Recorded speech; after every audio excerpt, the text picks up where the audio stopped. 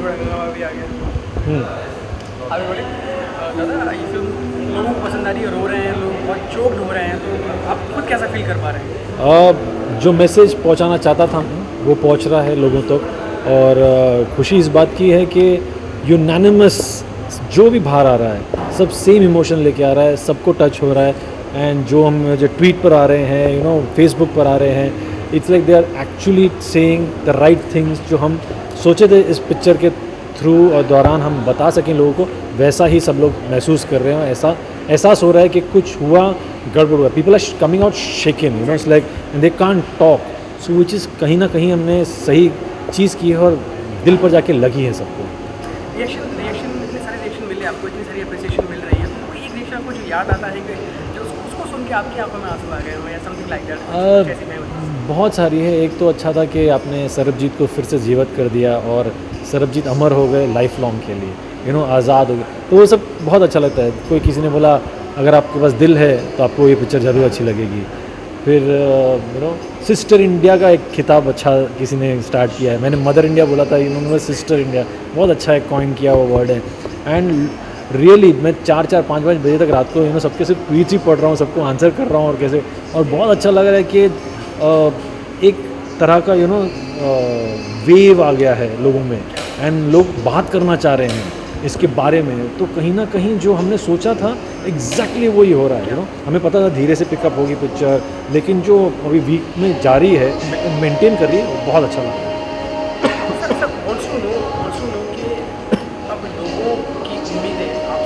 ज़्यादा बढ़ चुकी हैं।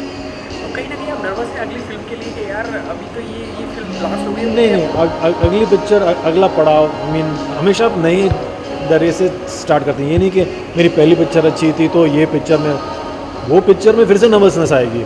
फिर से उतना ही मेहनत करना पड़ेगा। ये नहीं कि मैंने नाम कमा लिया तो अभी थर्ड पिक्चर अच्छी ऐसा नहीं होगा। नर्वसनेस तो हमेशा होती है। अपने आप को प्रूव करते हैं हम और किसी और को प्रूव नहीं करते।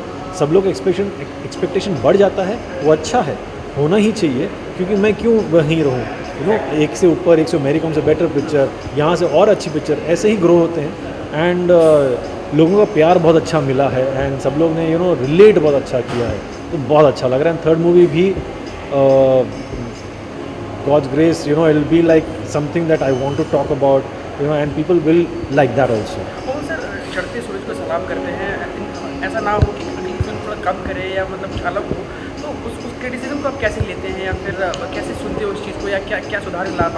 देखो क्रिटिसिज्म एक ये, इस जर्नी का एक ये क्या, एक स्टेपिंग स्टोन है। आप क्रिटिसिज्म को दिल पर लेोगे तो लगेगा। स्टेपिंग स्टोन लेते तो आगे बढ़ सकते हैं। एंड क्रिटिस क्रिटिक्स को चुप कराने के लिए आप ऐसा काम करो कि वो भी पलट के बोले, अरे, क्या काम किया है? तो जितने जवाब आए हैं लोगों से क्रिटिसाइज़ किए थे लोगों ने ठीक है बारह लोग करें नो प्रॉब्लम जो लाखों लोग यूनानिमसली पसंद कर रहे हैं यू नो वो ज़्यादा लगता है। हाँ कहीं ना कहीं लगता है कि उन बारह लोग को क्यों मैंने छोड़ दिया? वो भी अच्छा बोलने चाहिए। पर हाँ नेक्स्ट फ़िल्म में मैं बहुत सुनो कि कहाँ की स्टार कास्ट पे प्राउड है अपने डायरेक्शन पे प्राउड है कहानी पे प्राउड है कहाँ पे ज़्यादा प्राउड कर रहे हैं? कहते हैं कि यार मेरी छाती फूले नहीं संभाली समथिंग लाइक क्या ऐसा मतलब क्या प्राउडनेस कहाँ पर बढ़ रही है? नहीं प्राउडनेस तो ये थी कि पहला चीज़ था कि मैंने दलवीर और उनकी फैमिली को खुश कर दिया कि उनका जो, उनकी जो ज़िंदगी थी वो सही मायने में सेंसिटिव रख के यू नो सब चीज़ सामने लाइफ लॉन्ग के लिए पर्दे पर उतार दी। अब आप कभी भी देखोगे डीवीडी डाल के आप उठा सकते हो कि ये ज़िंदगी अमर हो गई। वो बहुत अच्छा लगता है। फिर आएगी डायरेक्शन फिर आएँगे सब, जब लोग सब रणदीप को सराह रहे हैं, ऐश को सराह रहे हैं और छोटे छोटे चीज़, ऋचा को, दर्शन को, सबको सलामी मिल रही है।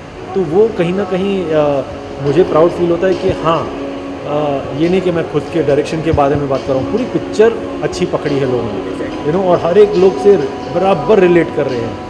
वो छू रहे हैं दर, दर्शन के ऊपर वो छू रहे हैं रीचा के ऊपर रो रहे हैं। ऐश्वर्या का यू नो इमेज बहुत उठ के आ रहा है। रणदीप के लिए वो एकदम यू नो तरस ले रहे हैं। तो हर इमोशन जो पकड़ रहे हैं तो डायरेक्टर का फ़ायदा होता है इसमें कि हाँ हमने सही ढंग से असली पिक्चर बनाई है जो लोगों तक पहुँची है। आप इस, इस बात से एग्री करते हैं कि रणदीप को आपने उनकी लाइफ का बेस्ट परफॉर्मेंस दिया है। डोंट मैं एग्री करता हूँ। मैंने उनको इनफैक्ट शूटिंग पर भी बोला था कि भाई ये तेरा बेस्ट रोल है for life you have done fantastic role before but I don't know about that but this is your best role for life तो ना एज एन व्यूअर मैं कहना चाहूँगा इस फ़िल्म के असली हीरो आप हैं। तो जो जो डायरेक्टर क्योंकि आपने ऐसी कहानी चुनी है शायद ही उसे उसे बनाने के लिए हिम्मत चाहिए चाहिए thank you thank you so much this is fact I mean it तो मैं कहना चाहूँगा जो आज के डायरेक्टर्स हैं जो हल्की फुल्की डबल मीनिंग कहानी बनाते हैं उनको आप क्या कहना चाहेंगे? कुछ ऐसे सब्जेक्ट उठाए जाए नहीं टू ईच जोन एंटरटेन में भी रहना चाहिए। अब वो है तो फिर वो देखते हैं तो फिर इसकी कदर ज़्यादा होती है। और ये नहीं कि वो छोड़ दिए। मे बी मैं भी कभी कॉमेडी पिक्चर बनाऊँ क्या पता? लेकिन हाँ ढंग की बनाऊँगा। ये नहीं कि डबल मीनिंग की वैसी पिक्चर नहीं लेकिन वहाँ भी कुछ मज़ा है, पता नहीं, हम भी जाके देखते हैं पिक्चर इज़ नॉट दैट कि हम वो छोड़ रहे हैं मैं सिर्फ़ सीरियस पिक्चर कर रहा हूँ, ऐसा कुछ नहीं है। अच्छी पिक्चर पिक्चरें कामयाब होती है और हाँ आप वीकेंड में आते हैं अपना यू नो दुख और ये सब भूलने के लिए तो ऑब्वियसली आप रोने नहीं आते हो, लेकिन ऐसी पिक्चर्स इफ़ेक्ट करते हैं और कहीं ना कहीं मुझे बोलना था ये। एंड ये एक मीनिंगफुल सिनेमा बोल सकते हैं हम लेकिन ये भी है कि भूले भटकी हुए जो यू नो स्टोरीज़ हैं, उसको बाहर निकालना, वो मैंने थोड़ा ठेका लेके रखा है, ऐसा नहीं है, लेकिन आ गए मेरे वे। यू नो मेरे मेरे रास्ते में जब आए तो मैंने लगा कि ये करना चाहिए कुछ। पता नहीं आगे करूँ कि आगे कुछ दूसरी पिक्चरें बनाऊँ। बट हाँ everyone wants to do the own genre romantic picture भी होती है, सब पिक्चर है। अलग अलग लोग की अलग अलग यू नो रिक्वायरमेंट्स होते हैं। बट अगर किसी को अच्छा लगता है ऐसे रोल मैं ऐसे पिक्चरें तो ज़रूर बनाएँ।